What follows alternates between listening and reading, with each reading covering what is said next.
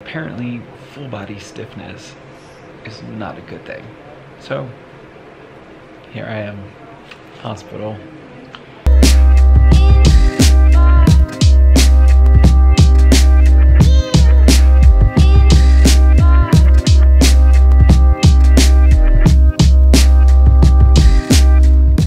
Good morning, everyone. Happy Saturday. Yes. Uh, I woke up. I feel pretty good right now, but I don't want to jinx it. You know what I mean? You know. I know. You know.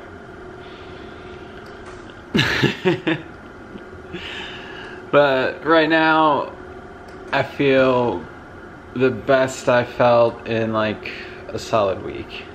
So that that's awesome.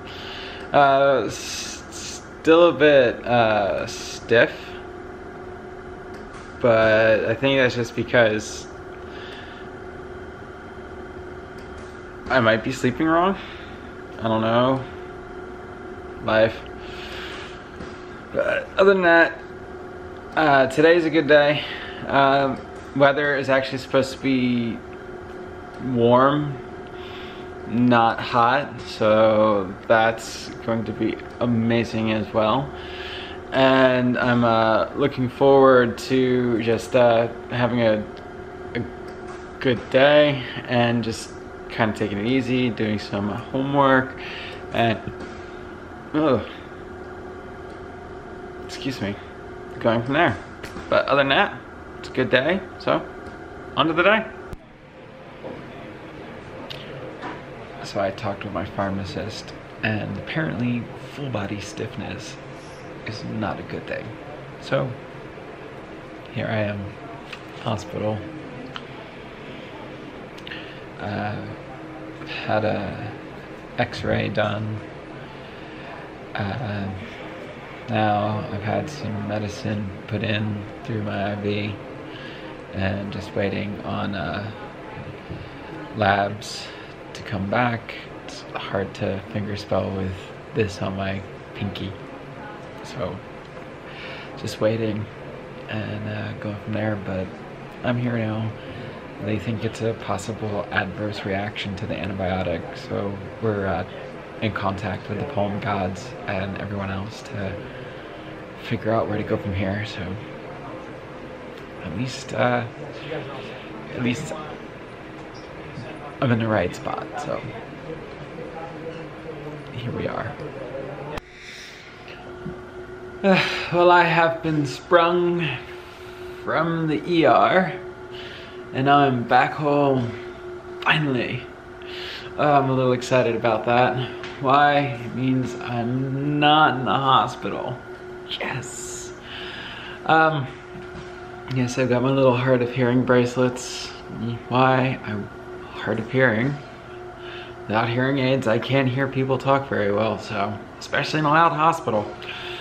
Um, aside from that, my diagnosis is serum sickness and I'm about to explain that but first let me sit because I'm like really stiff still and in pain so ah, sitting is necessary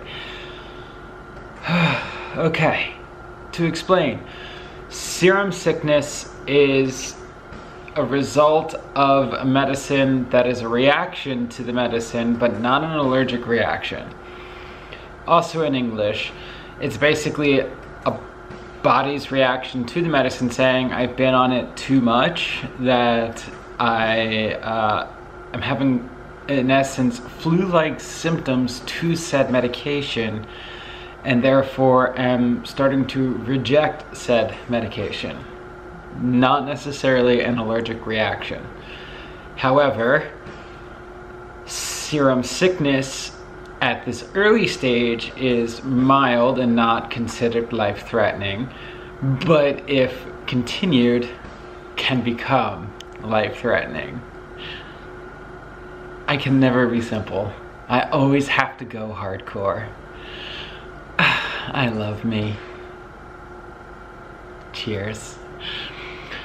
So aside from that, um, basically every time I'm given, like every time I get an infection, it's either Levaquin or Augmentin, and it's been Augmentin quite a bit lately, which is a form of penicillin. It's amoxicillin with um, clevoxin. It's a different type of uh, antibiotic on top of it.